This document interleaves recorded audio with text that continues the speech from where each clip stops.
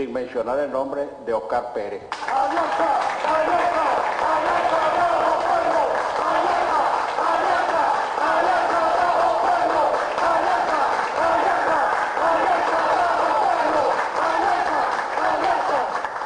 Bueno, y no están aquí, pero están aquí. Eh, yo he conversado con Antonio muchas veces, no sé si decir que la llegada clandestina o semiclandestina caracoleando allá por un sótano y esperando que uno de los sapos no esté allí para meterse en un apartamento de un vecino que le hace el favor a uno de llevarlo hasta allá. La vergüenza de no poder hablar directamente con alguien que está injustamente preso y condenado, o por lo menos tiene cargos encima por no haber hecho nada. No solamente es la vergüenza de dirigentes democráticos, profesamente democráticos, comprobadamente democráticos, víctimas de un fusilamiento judicial de un ministerio público que lo que hace es cumplir con órdenes del Ejecutivo porque simplemente les estorba la disidencia. Le tienen miedo a los, a los liderazgos que no sean los de ellos. Y tienen razón, porque como no tienen liderazgo, ni tienen dirigentes consustanciados con las necesidades populares que puedan emitir un mensaje de fe y de esperanza, pues han tomado por la vía fácil de liquidar por ahora, políticamente, mediante fusilamientos judiciales, a todo el que les estorbe. Voluntad Popular podría decir lo mismo, tiene que hacer sus actos sin Leopoldo López, sin Daniel Ceballos, un nuevo tiempo tiene que hacer sus actos sin Manuel Rosales. Nosotros quisiéramos tener de una buena vez presente en nuestra dirección nacional de la que es miembro nato al compañero Carlos Ortega, que es otro de los estudiados forzados. Y así, pero los que todavía tenemos la suerte de estar en libertad y haber recibido a consecuencia de una campaña unitaria ejemplar que hicimos todos sin distingo de partidos políticos para acceder allí a la Asamblea Nacional. Por eso merecimos la confianza de la gente, porque fuimos capaces de presentar un comando único, una tarjeta única, una campaña única, un programa único. La unidad y candidatos, diputadas y diputados ya electos, que están haciendo con mucha altivez y con mucha dignidad en medio de los peores e inenarrables acosos desde afuera y desde adentro, la labor para la que fueron designados son en este momento nuestra punta de lanza, la posibilidad del mensaje de esperanza y de cambio por el que está guardando Venezuela. El gobierno podrá hacer muchas maniobras, cualesquiera maniobras. Podrá utilizar su Tribunal Supremo de Justicia, sus altos mandos militares, que no la totalidad de la Fuerza Armada, y día a día el espacio se les estrecha más, pero no por mezquindades y por el éxito de alguna estrategia política particular de la oposición, sino porque las circunstancias, la ruina, la consecuencia de un modelo demencial llevado adelante por encima del interés nacional, ha desembocado en esta tragedia que padecen todos los días los venezolanos. Quien les está ganando a ellos, y gracias a Dios que le está ganando, es la rabia de la gente por la escasez, por el alto costo de la vida, por la inseguridad que este gobierno no va a resolver mientras ellos ejerzan y lleven la conducción del país.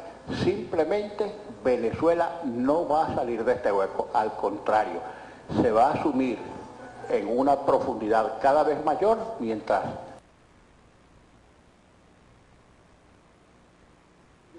corruptos, narcotraficantes, estén gobernando a Venezuela.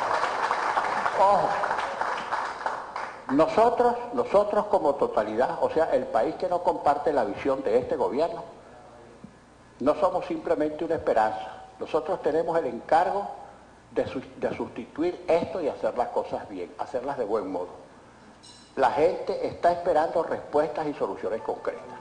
Esas soluciones concretas y esas respuestas concretas son unas de carácter político y otras de carácter económico. Frente a algunos analistas que dicen por ahí que debemos dedicarnos simplemente a promulgar leyes que tengan que ver con lo económico y con lo social, y que descuidemos las disposiciones que tienen que ver con lo político, les decimos que no se equivoquen. Nosotros en la Asamblea Nacional, y esto no forma parte de un capricho, ni, ni de una ocurrencia, ni de una improvisación, sino simplemente se trata de cumplir con nuestro compromiso de campaña, con nuestra oferta electoral, que fue la que recibió el respaldo abrumadoramente mayoritario de los venezolanos, nos comprometimos a tres cosas esencialmente. Cumplir con nuestro deber de rescatar la Asamblea Nacional como poder autónomo con facultades para legislar, para controlar y para debatir. Lo estamos haciendo, repito, en medio de acosos inenarrables desde afuera y desde adentro.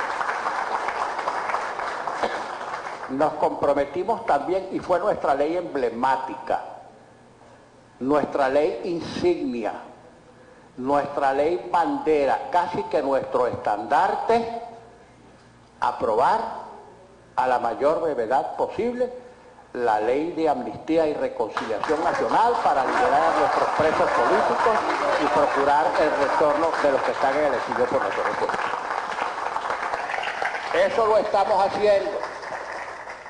Y lo tercero que prometimos, y lo vamos a llevar adelante también en medio de acechanzas, de dificultades, de amenazas, de agresiones, de persecuciones y demás presos, fue que prometimos que en, dentro del lapso, no a los seis meses, dentro del lapso de seis meses, contados a partir de nuestra asunción en la Asamblea Nacional, íbamos a buscar, a arbitrar y ofrecerle a los venezolanos una solución democrática, constitucional, pacífica y electoral para ponerle cese final a este gobierno. Y eso lo estamos haciendo.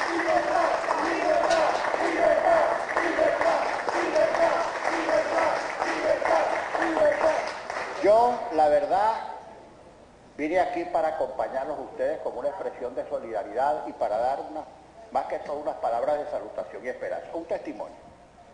Eh, tienta decir un montón de cosas que uno tiene que, que, decir para información general, porque todos andamos empeñados en la misma cruzada, en la misma jornada. Pero si algo yo les, yo les pediría a ustedes, les ruego a ustedes, es que transmitan este mensaje de fe y esperanza en Venezuela, que transmitan un mensaje de fe en nuestro futuro, de que transmitan un mensaje de que por grande que sea la tragedia por la que esté atravesando nuestro país y su gente, vamos a salir de esto porque Venezuela se lo merece, porque su gente se lo merece y porque tenemos suficiente fuerza, suficientes talentos, suficientes valores y suficientes ganas para darle a Venezuela un destino mejor y para sacarla de esta tragedia. Seguramente en, en sus deliberaciones como organización política ustedes van a acordar una serie de actividades, una serie de medidas. Nosotros mismos en la unidad todos deberíamos reunirnos hoy o mañana para presentar definitivamente una fórmula y salir a luchar por ella, repito, como solución y para ponerle fin a este gobierno.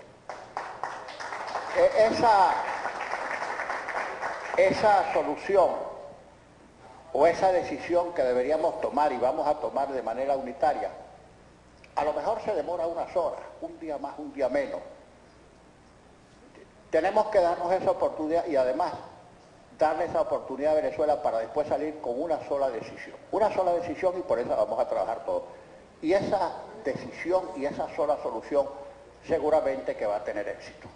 Seguramente que va a tener éxito porque detrás de ella va a estar la inmensa mayoría de los venezolanos que quieren salir de esta desgracia.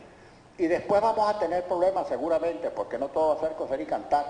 Estamos conscientes que al salir de este gobierno es tal la situación de ruina, de desastre, de decaimiento, en la que van a dejar al país, que allí es cuando tenemos que estar más unidos, allí es donde tenemos que tener más unidad de criterio, más unidad de acción, porque repito, Venezuela está pendiente de nosotros.